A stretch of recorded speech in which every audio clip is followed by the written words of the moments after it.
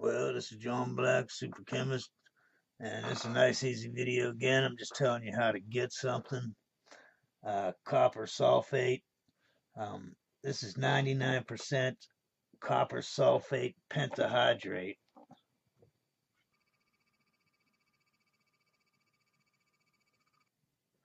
As you can see, it uh, is 99% pure, 1% inert ingredients which means basically you can recrystallize it and you'd have just one time and you'd have pretty pure stuff. Uh, here's a, a solution of it. As you can see, it's a dark blue. I mean, depending on how much you put in, you put a little bit of salt in, it's kind of light.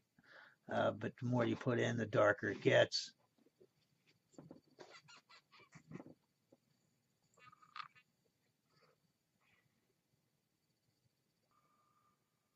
There's a crystal.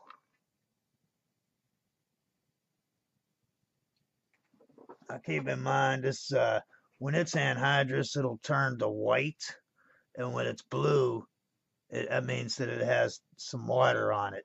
So this is a good drying agent in the fact that you can really see a color change when it absorbs water. You know what I mean? So you throw it in white, and if it turns any blue, you know there was some water in there. If it stops, just turns light blue, you know you got it pretty much all out of there. And uh, it's really hard though to get that last two molecules of, of water off. And uh, I don't use it because of that fact, although it is cool that it changes color. Uh, but it's really a hassle to dry, you know what I mean, a large portion so if you want a little portion, what I suggest is you just take a little bit and uh, dry a little bit out at a time. I do not suggest you dry out any anything more than like a gram or two because this stuff gets so dusty trying to get that last two molecules off. It's ridiculous.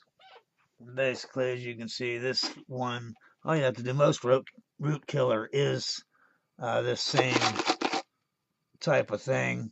Uh, the crystals come out look like blues. I mean, they look great. I mean, you'll look at them be like, wow, them are nice. Uh, but that's Roebic Destroy Roots, destroys root root killer, K77. Uh, I got that at Lowe's. Obviously, you get it where you want uh, the plants, root killer. it actually might be back by where the uh, stuff is that you uh, put down your drain, like drain cleaner, but it might be also by the where the plants are. But any, uh, you can probably even get it in uh, Walmart. But it's a nice, easy way to get a nice pure salt where you can pretty much use it as is, or you can recrystallize it once and get really pure stuff. There's another example.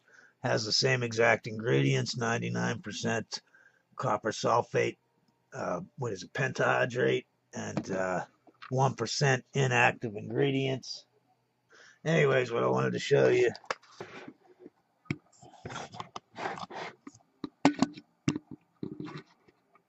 As you can see, it's white.